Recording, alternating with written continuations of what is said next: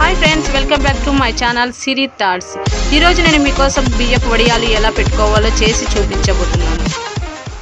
మనం వడియాల కోసం నైట్ అంతా నానబెట్టుకున్న బియ్యాన్ని మార్నింగ్ లేవగానే ఉడికించుకోవాలి. ఉడికించుకొని ఇలా తిప్పడం వల్ల అది బియ్యం అంతా బాగా పేస్ట్ లాగా అయిపోతుందండి. పేస్ట్ లాగా అయిపోతే మనకు వడియాలు పెట్టుకోవడానికి చాలా ఈజీ అవుతుంది. చాలా టేస్ట్గా కూడా ఉంటాయి.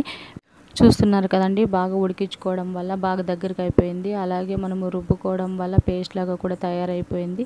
ఉడికించుకునేటప్పుడు మనం ఇందులో కొద్దిగా సోడా పొడి సాల్ట్ ప్లస్ జీరా పౌడరు ఇలా వేసుకుంటే చాలా టేస్ట్గా ఉంటుందండి. అలాగే మనం దీన్ని గ్యాస్ మీద మనము చేసుకోలేమండి. ఎందుకంటే గ్యాస్ మీద చేసుకునేటప్పుడు మనం ఇలా రుబ్బుకోలేము కాబట్టి మనం పొయ్యి మీద చేసుకుంటే మంచిది.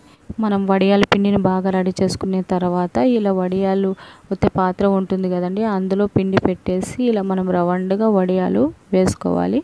ఇలా రవండుగా పెట్టుకోవడం వల్ల చూడడానికి కూడా చక్కగా ఉంటుంది తినడానికి చాలా టేస్టీగా ఉంటుంది.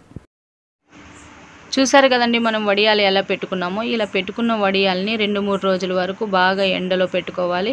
ఇలా ఎండిన వడియాల్ని మనం ఎక్కువ రోజులు కూడా నిలువ ఉంచుకోవచ్చు. ఇదిగో చూడండి మనం ఎండలో ఎండ పెట్టుకున్న వడియాలు ఈ విధంగా అవుతాయి. ఇలా మనం ఎండలో ఎండ పెట్టుకున్న వడియాలని నెమ్మదిగా ఒక్కోటిగా తీసుకోవాలి. ఎండలో ఎండిన వడియాలు ఇలా ఉంటాయి. ముందుగా గ్యాస్ వెలిగించుకోవాలి. గ్యాస్ వెలిగించుకున్న తర్వాత బాండీ పెట్టుకొని మనం వడియాలు ఫ్రై చేసుకోవడానికి తగినంత ఆయిల్ వేసుకోవాలి.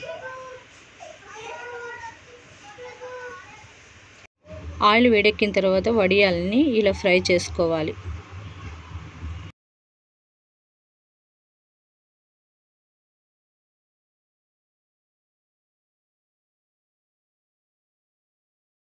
ఇదిగోండి మనం ఫ్రై చేసుకున్న బియ్యపు వడియాలు టేస్టీ టేస్టీ వడియాలు.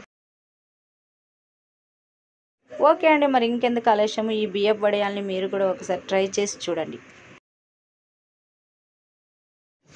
ఓకే అండి నా వీడియో కనుక మీకు నచ్చినట్లయితే లైక్ చేయండి షేర్ చేయండి కామెంట్ చేయండి అండ్ సబ్స్క్రైబ్ చేయండి. పక్కనే ఉన్న బెల్ ఐకాన్ మాత్రం ప్రెస్ చేయడం మర్చిపోవద్దు. మరొక నెక్స్ట్ వీడియోతో మీ ముందుంటాను. మీ శిరీషారెడ్డి బాయ్ బాయ్.